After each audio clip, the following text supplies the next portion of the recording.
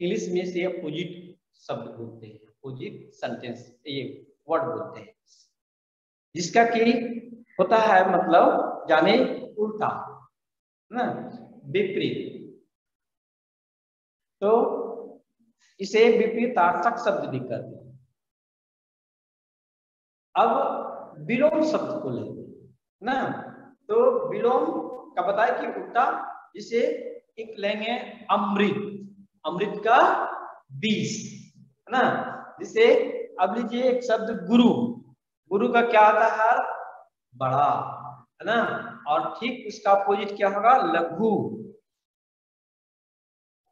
और आज्ञा आज्ञा का अवज्ञा ना? आधुनिक का प्राचीन ना? आधुनिक का क्या हुआ? प्राचीन। और अनिवार्य। अनिवार्य मतलब जो ज़रूरी है वैकल्पिक मतलब जिसका कि कोई विकल्प है ना? विकल्प मतलब कोई दूसरा और, और मतलब हो सकता है या दूसरा और उसके बदले में हम ले सकते हैं। देखिए अनिवार्य जो है अनिवार्य के बदले हम दूसरा कुछ नहीं ले सकते। अब जो है जैसे है दिन। दिन का रात एक होता है दिन। दिन मतलब गरीब और उसका अमीर। तो ऐसे शब्द जैसे और भी ले। टूटना का झूठना मानव का दानव है ना? जैसे क्रय, विक्रय, है ना? जैसे और भी लेते हैं दूसरे शब्द, जैसे कि शांत, अशांत। कुछ शब्द में और जोड़ करके क्या करते हैं? विपरीत बनाते हैं। जैसे शांति, अशांति, ना? कुछ शब्द ऐसे होते हैं जिसमें कि नी लगा करके, नी लगा करके अपोजिट करते हैं। जैसे कि निर निर्विरोध तो उसमें नीर जोड़ देते हैं तो निर्विरोध हो जाता है। जैसे सुल निशुल्क, ना, नीर जोड़ दिए उसमें और नीर जोड़े तो है ना निर्विरोध हुआ, और नी जोड़े विसर्ग जोड़े तो क्या क्या ये क्या हुआ? निशुल्क, है ना? निशुल्क तो मतलब जोड़। और इसका अपोजिट में क्या होगा शुल्क शुल्क शुल्क मतलब जिसका चार्ज लगता हो निःशुल्क मतलब जिसका चार्ज ना लगता हो। ऐसे देखिए, निर्विरोध, है ना? निर्विरोध। निर्विरोध। का क्या हो गया? कोई विरोध करने वाला नहीं इसका क्या हुआ? विरोध। यानी विरोध का निर्विरोध। अब कुछ भी बताया कि जैसे और योग्य बनाते हैं। जिसे क्या होता है? अगर जो है लिखा हो सफल सफल लिखा हो तो क्या करते हैं? असफल, और जोड़ करके बना देते हैं। असफल। जैसे शांति, है ना? शांति हो या शांत तो क्या लिखते हैं? अशांति। और जो दिए, शांति। अशांति इस तरह से हम लोग क्या करते हैं? नी जोड़ करके या जो है नीर जोड़ करके हम लोग अपोजिट को बनाते हैं। उल्टा करके उल्टा शब्द बनाते हैं।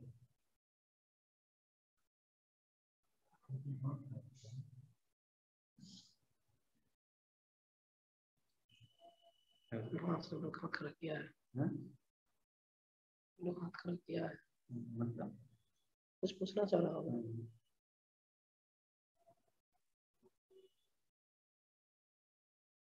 आप रहिए आप रहिए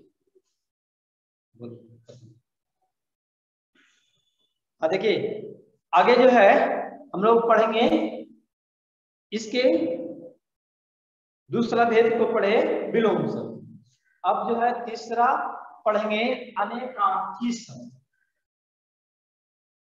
अनेकार्थी शब्द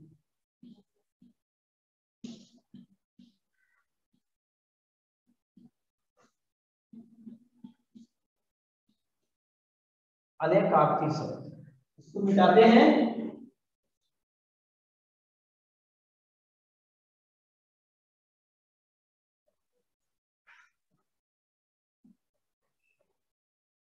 अनेकार्थी शब्द कि एक ही शब्द का, है ना, जो कि अनेक अर्थ हो। शब्द एक ही हो, लेकिन क्या हो? अनेक अर्थ। जैसे बताए थे, आप लोगों को दिए थे कि हरि को खोजन हरि के। हरि को खोजन हरि गए आधो का, ना, हरि बैठे हरि के पास।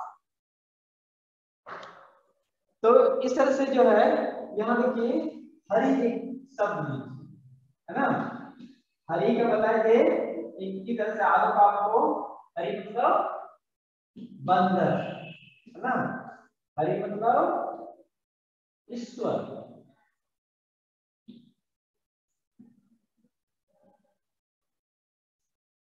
हरि मतलब बंदर हरि मतलब ईश्वर और हरि मतलब पानी। हरि मतलब पानी। हरि मतलब बताए थे। मीठा हरि मतलब मेढ तो एक ही हुआ, शब्द, लेकिन अर्थ कई हुआ। दूसरा बोल लीजिए कनक दूसरा शब्द लिखिए, लीजिए कनक कनक मतलब शब्द एक ही है कनक लेकिन इसका अर्थ है सोना, है ना? और यही कनक है, इसका अर्थ है धतूरा दूसरा शब्द लीजिए जैसे कर। कर। और कर हुआ कर मीन्स हाथ कर मीन्स हाथ और कर। हाँ यही कर सेम कर। कर मतलब टैक्स कर मतलब टैक्स देखिए, शब्द एक ही है ना? लेकिन अर्थ क्या है? अलग अलग है। कर मतलब हाथ हुआ कर मतलब टैक्स कनक मतलब सोना, कनक मतलब धतूरा है ना? उसी तरह से जैसे ये बताए, हरि का, है ना? कई अर्थ में इसका प्रयोग किया जाता है।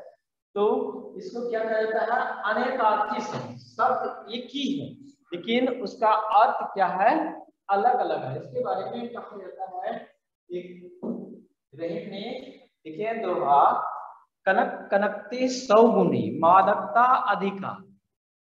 कनक कनकते सौगुणे, मादकता अधिकार वो खाए बौराय जग, वो पाए बौराय ना? कि एक कनक मतलब हुआ क्या धतूरा एक कनक मतलब सोना। इस धतूरे और सोने में क्या है? बहुत अंतर, है ना? धतूरा एक नशीला पदार्थ कहा जाता है।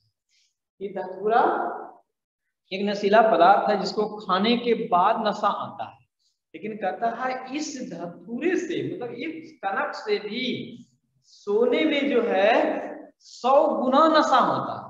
मादकता देखा मादकता मतलब नशा कितना होता है? सौ गुना। मतलब एक सौ गुना जो है, ज़्यादा जो है, धतूरे से सोने में नशा होता अब कैसे? इसका कहता है कि धतूरे को खाने के बाद जो है, लोग नशा में आते हैं। ना, तब जो है नशा चढ़ता है। लेकिन सोना को या धन को, आदमी को पा लेने के बाद ही वो क्या आता है? नशा में आ जाता है। लोग कहता है, तुमको क्या? तुम्हारे घर के सभी लोग को खरीद लेंगे। पूरा तारापुर खरीद लेंगे। है ना? तो इस तरह से सुना होगा, है ना? कि नशा जो है, पैसे आते ही लोग जो क्या करता है, उसका पैर ज़मीन पर नहीं पड़ता है, वह जो है, उड़ने लगता है। इसलिए कहता है, नशा चढ़ गया। ना? क्या कहता है कि नशा चढ़ गया इसको। किसका? धन का, दौलत का। और वो इंसान को इंसान नहीं समझ लगते हैं, बल्कि वह इंसान को एक जो है वस्तु की तरह खरीदने पर तुल जाते हैं। मतलब समझते हैं, ये व्यक्ति हमारे सामने कोई मूल्य नहीं है, ना? कोई अर्थ नहीं रखता। हमारे पास इतना धन है, दौलत है कि इसके जैसा कितना आदमी को हम खरीद सकते हैं, ना? तो ये क्या हुआ? शब्द का कमाल हुआ। एक कनक मतलब पूरा, एक कनक मतलब सोना। आगे हम लोग देखेंगे।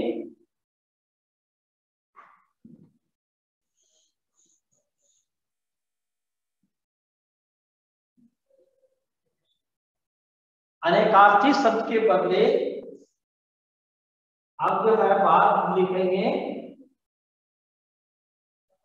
अनेक शब्द के बदले एक शब्द अनेक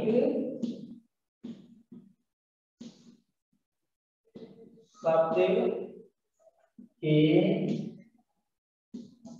बदले एक शब्द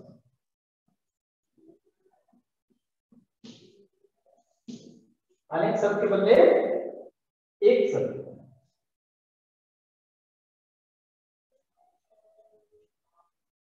अनेक शब्द के बदले एक शब्द का मतलब क्या हुआ? कि गागर में सागर भर। ना? मतलब बहुत बड़ा चीज़ है और उसको जो है, बहुत बड़ा शब्द है। मतलब बहुत बड़ा चीज़ है, उसको छोटे से शब्द में कहा। मतलब थोड़े से शब्द में उसको कह देना। इसको क्या कहा जाता है? अनेक शब्द के बदले एक शब्द। मतलब ज़्यादा ना बोल करके हम थोड़े में बोलेंगे, इसी समाज शैली भी कहा जाता है ना? कि ज़्यादा हमको बोलना नहीं है है ना? कि ज़्यादा जो है, बोलने की ज़रूरत नहीं है, कम शब्दों में हम अपना बोल करके काम चला देते हैं ना? इसी को अनेक शब्द के बदले एक शब्द कहा जाता है। जैसे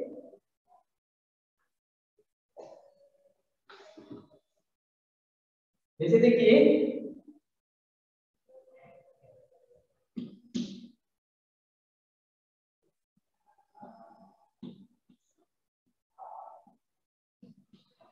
शाकाहारी एक शब्द शाकाहारी। शाकाहारी मतलब वह प्राणी जो साग सब्ज़ी खाता हो। वह प्राणी जो क्या हो, साग सब्ज़ी खाता हो, उसको क्या कहता है? उसको कहा जाता है शाकाहार, है ना? जैसे मांसाहारी। तो शाकाहारी हुआ और मांसाहारी। मांसाहारी। देखिए हम इसका देखिए कितना है? साग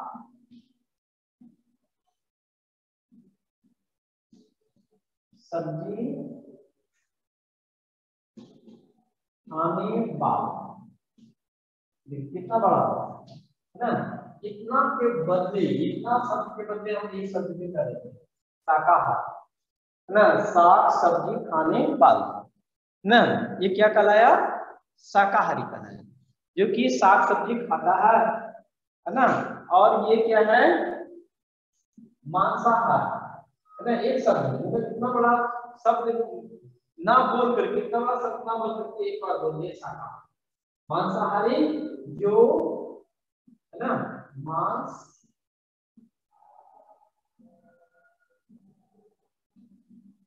मछली, खाने वाला मांस, मछली, खाने वाला। क्या हुआ ये? मांसाहारी ना? मांस, मछली, खाने वाला क्या हुआ? मांसाहारी। साग, सब्ज़ी, खाने वाला शाकाहारी। तो और भी जो है, बहुत शब्द है है ना? जिसके हृदय में दया नहीं, जैसे जिसके हृदय में दया नहीं हो, निर्दय ना? क्या कहलाया? निर्दय। निर्दय मतलब क्या हुआ? जिसके हृदय में दया नहीं ना? मतलब किसी व्यक्ति के दुख को देख करके वह गर्वित नहीं होता। ना? जैसे एक शब्द लिए, ना? जिसका ईश्वर में विश्वास हो, ना? या जो व्यक्ति ईश्वर में विश्वास करता हो, वो क्या कहलाते हैं? आस्तिक। और जो व्यक्ति ईश्वर में विश्वास नहीं करता हो, या जिसका ईश्वर में विश्वास ना हो, उसको क्या कहेंगे? उसको कहेंगे नास्तिक। जैसे, आगे लीजिए, जिसका कोई शत्रु न हो, कोई दुश्मन न हो, उसको कहा जाता है अजात शत्रु अजात शत्रु है ना? और जो सब कुछ जानता, जो सब कुछ जानता हो, उसको सर्वज्ञ कहा जाता है। कितना बड़ा शब्द हुआ? जो सब कुछ जानता हो, है ना? बहुत बड़ा शब्द हुआ। तो उतना शब्द ना बोल करके एकदम सीधा छोटा सा शब्द बोल देंगे सर्वज्ञ। और आगे लीजिए जिसकी उपमा ना हो, है ना? जिसकी उपमा ना हो, अनुपम, है ना? कहता ना, ये संसार में क्या है? अनुपम है। तो जो उपमा ना दे सके, वो क्या हो गया? अनुपम हो गया। है ना बढ़ा चढ़ाकर कहने वाले है ना बढ़ा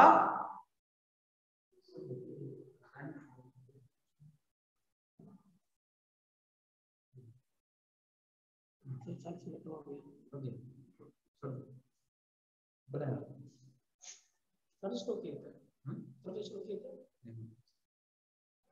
ये पाँच पाँच बहुत रात में आगे देखिए, एक जो है लास्ट है ना? एक लास्ट है, इसका भेद श्रुति सम से, ना? इसका आगे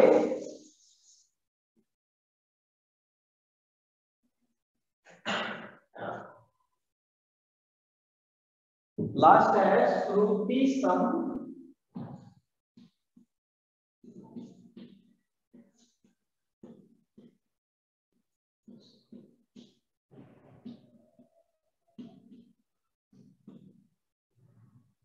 भिन्नार्थक शब्द।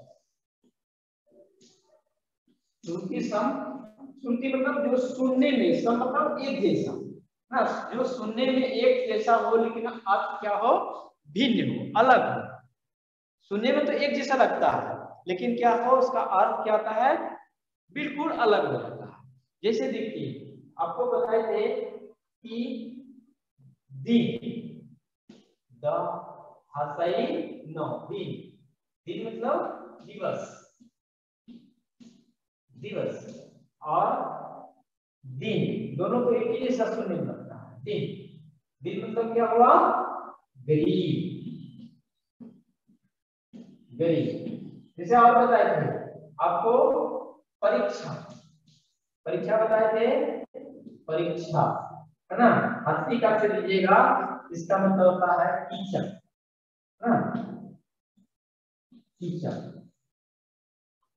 परीक्षा मतलब टीचर, और ये परीक्षा लीजिए। परीक्षा परीक्षा मतलब जाँच। जो आप लोग परीक्षा देते हैं, वो क्या हुआ? ये जाँच देखिए, दिन मतलब दिवस, यही दिन। दीर्घई से हो गया तो गरीब। और परीक्षा हर सही से लिखे, परीक्षा मतलब टीचर और दीर्घई से लिखे तो जाँच ना? परीक्षा मतलब कीचड़, परीक्षा मतलब जाँच। तो इस तरह से जो है, हम लोग जो है शब्द के भेद को देखे कि शब्द के जो है पाँच भेद बताए गए शब्द भंडार में और इसी पर क्या किया गया है कि हिंदी का शब्द बना हुआ है। कोई उल्टा, कोई सीधा, कोई जो है, उसी के बराबर ना? और कोई अनेक शब्द के एक शब्द तो इस वर्ग में हम लोग शब्द को पढ़े, आगे जो है प्रश्न उत्तर को आप लोग बनाइएगा। धन्यवाद।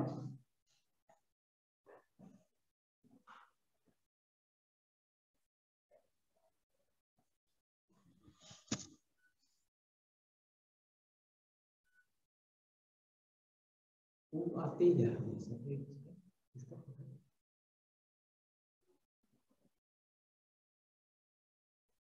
बच्चा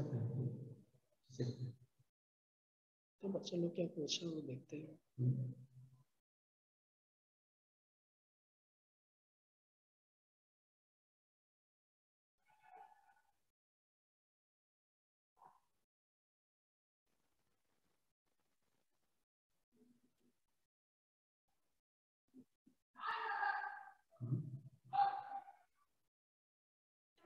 लोग आपस में ये बात करते हैं हम सभी लोग कर ले जेडी से आपस में थोड़ा मास्क हटा